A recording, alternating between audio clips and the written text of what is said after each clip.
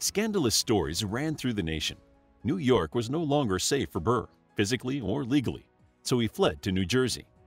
After staying for a few days, he went to Philadelphia.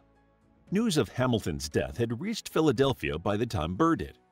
There, he found people gaping in wonder to see him walking free while publicly labeled a murderer. The news from New York over the following days was not good. His friends had been forced to testify about the duel or face jail. A grand jury had concluded that Burr had murdered Hamilton and that their seconds in the duel were accessories before the fact. It was a declaration that stunned America. The vice president stood accused of a capital crime and was now a wanted man.